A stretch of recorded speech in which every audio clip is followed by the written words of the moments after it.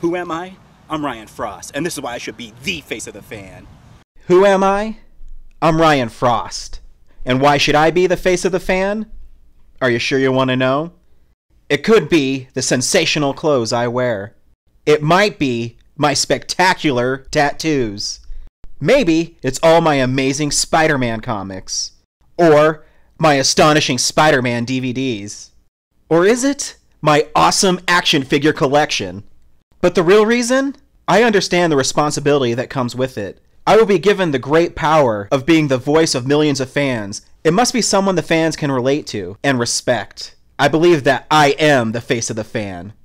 Huh? Spider sense is tingling. What's this? They're premiering exclusive news of the amazing Spider Man at San Diego Comic Con?